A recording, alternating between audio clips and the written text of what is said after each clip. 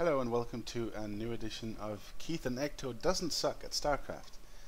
Um, I took a um, the time to play some 2v2 matches against my friend Ecto. Uh, with my friend Ecto and uh, this is the second time we come up against these two people. Uh, have me spawning as a Protoss in the top, Violet Protoss. Uh, Ecto spawning as a blue Zerg. Our opponents are um, Kurdi Rebel as the, uh, what is that, white Zerg? And a blue Protoss down below. So it's Zerg Protoss versus Zerg Protoss, which is kind of fun. We just had a match between these two guys, and um, he he's threatening us that this time, you know, we're totally gonna lose and stuff like that. Um, but we figure we, we probably can't do the same tactic again, and we sort of get the feeling that one of them is really good and one of them is not so good, which is the same story with me and Ecto actually. I'm not very good, but I'm, I manage. So we build up the um, our bases here. I'm going for a bit more um, economy and, and setting up stuff while they are um, working on. He's going to do a, a, quick double gateway and get a lot of zealots out, and Kurdi Rebel is going to go for a lot of zerglings, which is going to hurt us quite a bit. Meanwhile, I um, follow a, a, build order that I found online. I recently switched to uh, to Protoss because I'm getting tired of Zerg and I want to play something else. So I figure, you know, why not just uh, um, try, you know, try Protoss. I, am not really a big fan of Terran, to be honest. So we're building our armies and our bases, and they are, you know, slowly getting ready to um, to get some action here. I'm going to go double gateway as well, but I'm not as focused on um, um, building uh, attack units. I'd rather want a, a, decent economy and hoping that you know we can push back a bit. There's going to be some erratic Protoss play for me because I'm still not entirely comfortable with it, but you know, um, I'll learn. You know. so meanwhile, Ecto decides to to get an, an early expansion. Well, not that early really. It's it's like a 20 hatch, but it, it's you know it's it's fine. Uh, we think that we're pretty safe uh, from attack.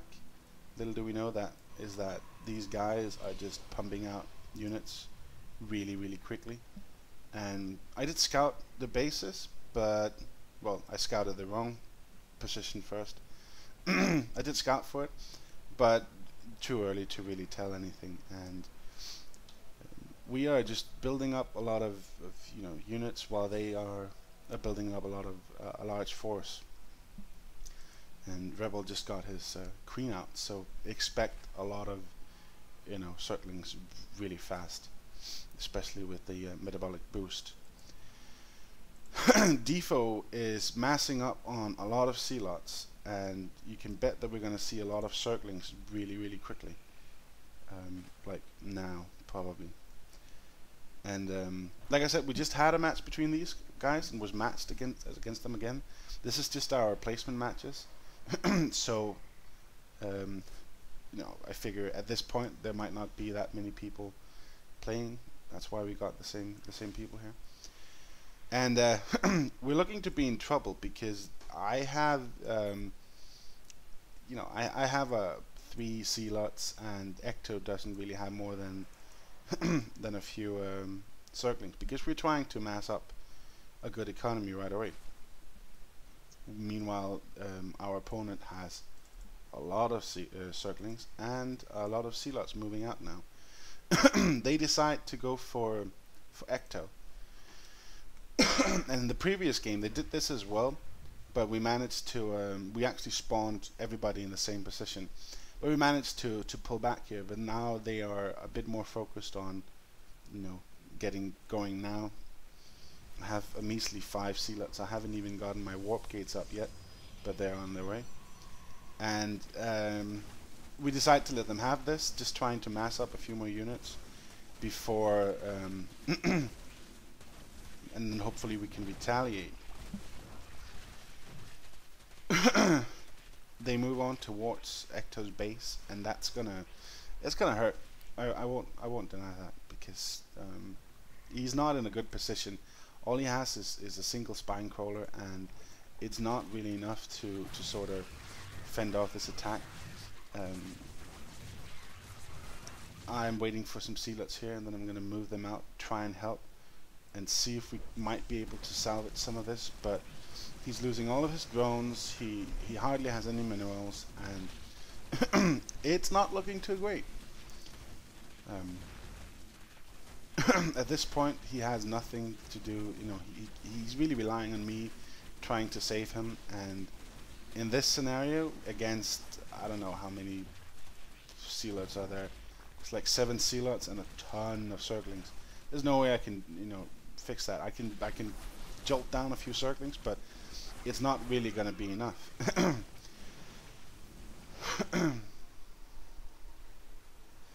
trying to find out what I can do to help my um, my friend here, but he has he has nothing left. I mean, he can't even build another drone. Um, I could I could transfer some some resources over to him, but it seems pointless at, at, at this time because um, there's nothing left.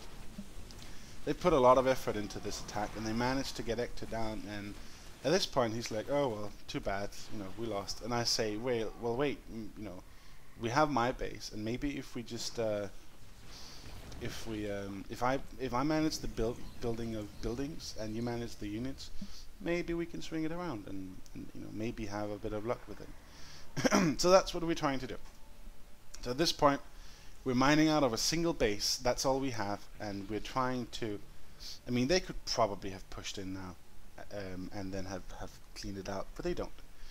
I'm sitting on a fair bit of uh, minerals and gas actually because I've, I was so I, I can't multitask very well. So I was so focused on trying to help him that I didn't really focus on um, getting out these um, spending my minerals. So all I have is like uh, five zealots and an immortal putting up an, an additional robotics facility and I have um, four warp gates. And all of these units are just um, mining away, trying to get us some some more stuff. At this point, I say, Ecto, you you manage all of this, and um, I manage the. Um, I try and, and supply you with more units.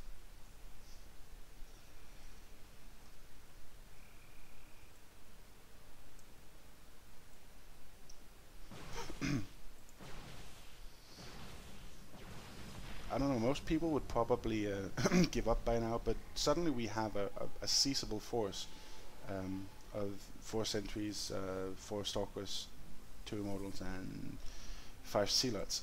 but they still have like quite a lot of, of, of units here, and um, you know that that can be you know, not too bad. And they're putting up another expansion, and it's not too good. So Ecto moves out with his uh, with his uh, force here, or our force, because right now this is all we have. and trying to see if we can uh, um, we we can push back against this somehow. I don't know why. I don't know if he just completely misses. No, wait, that's that's his his little zealot there. I keep building units, and as soon as they're ready, I send them forward. and they um, and Ecto's trying to to sort of push back and see if we can if we can do anything.